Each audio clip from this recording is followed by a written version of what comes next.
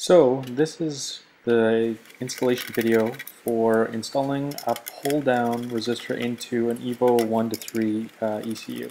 So first step is to do is to take off the, uh, the cover and then uh, once the cover is off we're going to take out the board from the uh, from the ECU housing. This is to get access at the data pins um, once the board has been removed.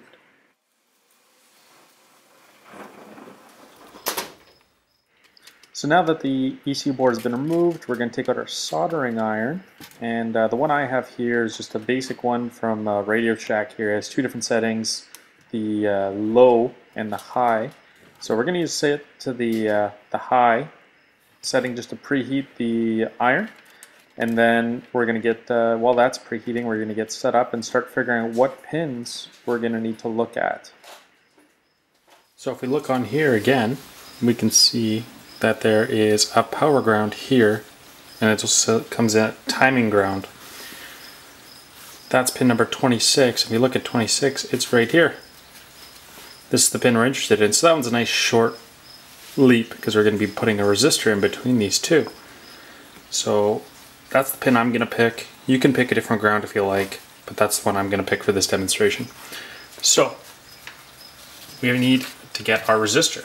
And uh, there are different types of bands on these resistors. So I'm using a 10k ohm resistor. And you could tell because the brown means 1, the black means 0, and then the orange means 3. Times 3 or 1000 is the orange band, so that says this is a 10 kilo, kilo ohm resistor. And we can hook up our meter, select ohms and we'll go to a 20k range. I'm measuring about 9.6k, 9.7, 9.8 kilo ohm. So that tells me that I read these numbers right on this resistor. So, now that we're looking here, I marked the pin we're interested in. With that, now I just need to get the other pin, which is pin number 29, and if we or 26, sorry, correction. So if we look at number 26, it's showing it is right there. So it's the same thing, translates, looking at the bottom of the here, to this big guy over here. And you can kind of tell that it's going to be a power or ground because of the thickness of the pin. So that guy is going to be this one, right here. So I'm going to mark that as well. So we need to connect a resistor between these two pins. Kind of something like this. But we also need to protect it. So we're going to use some heat shrink tubing. I have a bunch right here that you can find pretty much anywhere. Just have to make sure that it's thick enough to go around the resistor. So it goes inside here. So what I decided to do was take a little bit of heat shrink tubing and then just pre put the uh, resistor inside so that just the pins are showing. Now I figured I could do this ahead of time and that way I just worry about soldering on the connectors and don't to worry about heat shrinking it to the tube. This heat shrink is a little bit too big. I might look through my other stock just to kind of find something a little bit smaller. You can see uh, you can see the size there. It'll be quite a bit to shrink down. So I just got it, put it in the vise there, and I have a heat gun that I'm going to use to melt the melt it.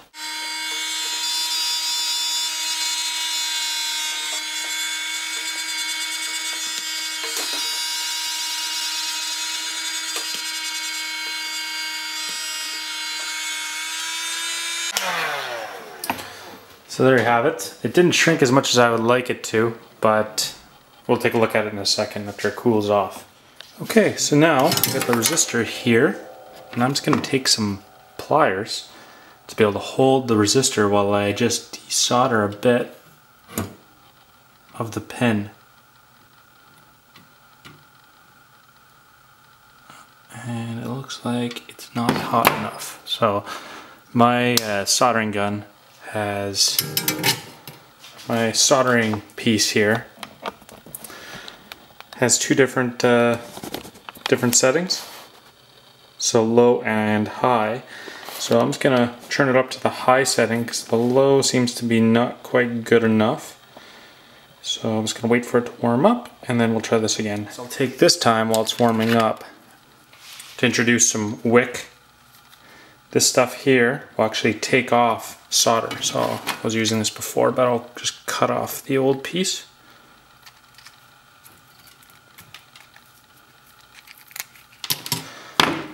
So if you need to clean up some of the solder, you can just, with the resistor for now, and I'll just take a little bit and just kind of desolder it a bit, get rid of that old kind of old solder. Uh, looks like the iron's still not hot enough. Here, I'll just tin the uh, soldering iron. So take some fresh solder.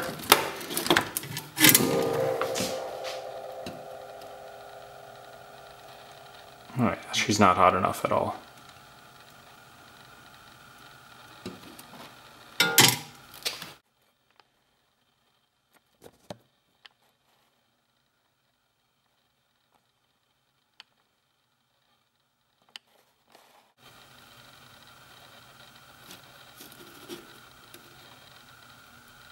Okay.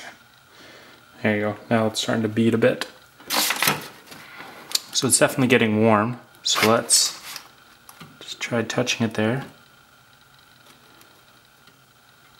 I need to add a bit of fresh solder. Okay. I'll clean it up a bit with the wick.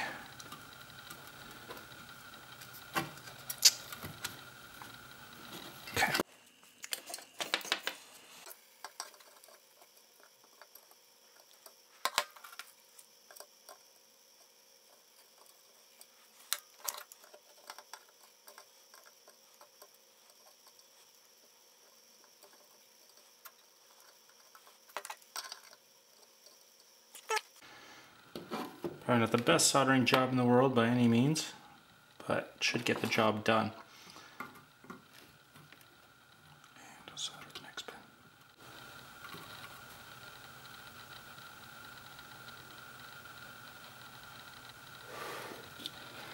Okay, so there we go. It's on. Clean the soldering tip, shut off the iron. And hopefully that was in focus.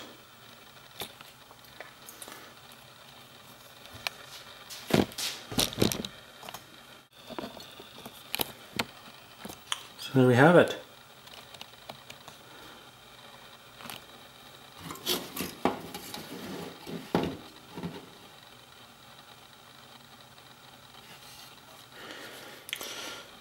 So I got the uh, ECU back back on and you can kind of see the resistor tucked underneath there. So you can see the pins and then the, uh, the resistors under there. There's a little bit there's enough space for it to have room to breathe but definitely feel a lot more comfortable having the uh, the heat shrink tubing on. You can see it right there. So we'll uh, try putting this in the car reinstalling it all putting the cover back on and uh, try it out. Okay, so here we are back in the car again. I'm going to try this out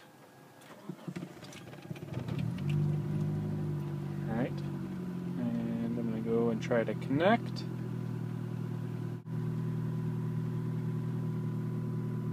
Okay, it says connected. Just look at the data log to uh, start stream. And as you can see, or maybe not see, packet INT, turn that on, so that's in light blue. No spikes at all. That's it, it's fixed.